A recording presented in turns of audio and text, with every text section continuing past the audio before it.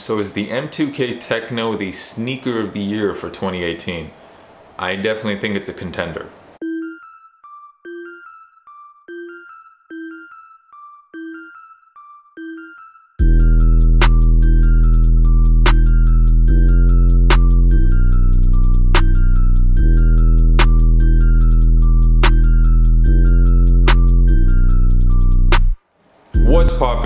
It's your boy JD coming at you with another review and today we finally got the long overdue review of the Nike M2K Tekno in men's sizing.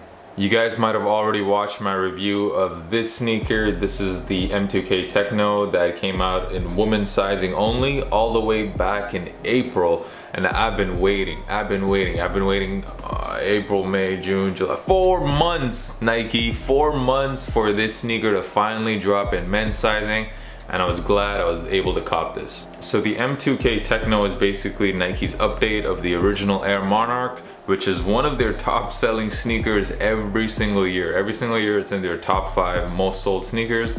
Nike took the original Air Monarch and basically updated it for 2018 and tried to get the sneaker to appeal more to the younger crowd because of this whole chunky movement and yes, I think Nike absolutely knocked it out of the park with this design and especially this colorway. So the first time we actually got a chance to see this colorway was way back in February during the John Elliott Spring and Summer Fashion Show.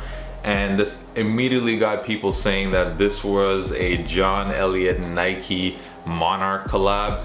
Turns out that this sneaker had absolutely nothing to do with John Elliott, which is a shame because I love John Elliott but this is just simply a general Nike release. So when this sneaker first released way back in April, I did cop this Phantom colorway and my only critique of this was that it was a bit too plain. There's so many panels here on the M2K Tekno that I thought there was a lot of potential for a really dope colorway and then came this and I think this colorway is absolutely insane. It's so well done. So you got basically the three major colors are orange, blue and white and we also have hits of black. And I just think this looks super super clean. I mean you got these orange panels here contrasting with the black swoosh on the toe box. You got hits of blue. And as well on the back here you have this like plastic uh, panel here. It, it kind of it looks black but it on closer look it kind of looks like a navy blue. And then on the outsole you do have a hit, big hit of black here my actual favorite uh, color element of this entire sneaker was not the orange I mean in pictures I did really love the orange but when looking at it I think my favorite part of the sneaker is actually this black tongue here like it just contrasts so well with the rest of the shoe and it's, it's basically begging you to wear this sneaker with black socks. What do you guys think about this colorway? Do you think this is the best colorway to drop so far of the M2K Tekno? I think it is by a long shot, but I wanna know what you guys think.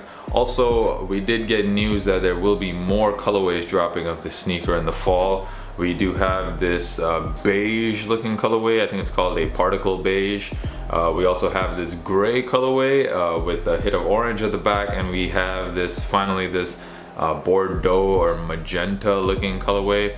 So the price point of this sneaker, 110 US dollars. Here in Europe, I paid 100 euros for this and for 100 euros, what you're getting is just really good value for money. So the quality of this sneaker, it doesn't feel like really nice leather, but it actually feels like really durable leather. Like this is gonna last you a very long time. And it has surprisingly really, really good comfort for a 100 and $110 sneaker. Although the sneaker looks really big and chunky, I would say when it comes to sizing, go true to size. I did go true to size in this and it just fit me absolutely perfectly. So 2018 is all about the dad shoe. Basically every major sneaker brand has released their version of a dad shoe. And I think compared to all of the newer dad shoes that came out this year, this one has to be top two or maybe even the best. So let's go through them. So uh, Adidas basically released the uh, Yung-1 and also the uh, re-release of the uh, Falcon Dorf. I think this sneaker looks better than both of those, just my opinion.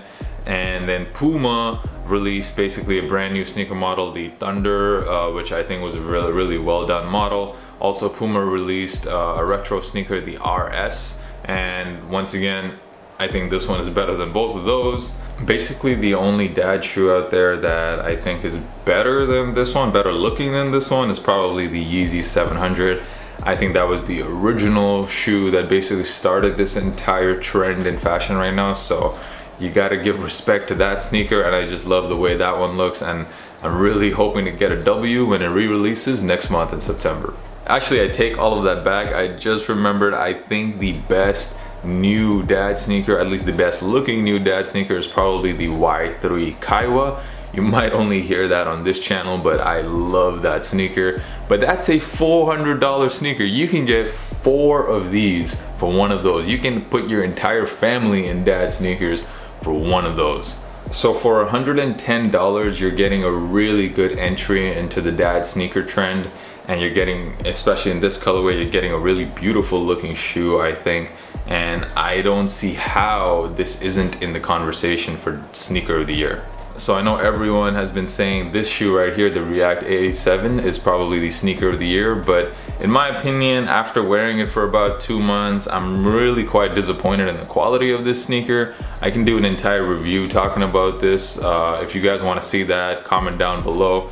But yeah, the quality of this sneaker is just not very durable and for that reason, I no longer will put this in the conversation for sneaker of the year. However, this one, $110, beautiful looking sneaker. I think this one for me is much more of a contender for sneaker of the year than the React Element. So there you have it guys, my review of the M2K Tekno. If you enjoyed this video, hit that thumbs up button and subscribe for more content. I'm getting close to a thousand subscribers guys, so please hit that subscribe button if you enjoyed the video. Thank you so much for all the positive feedback I've been getting. And now on feet coming right now. Peace.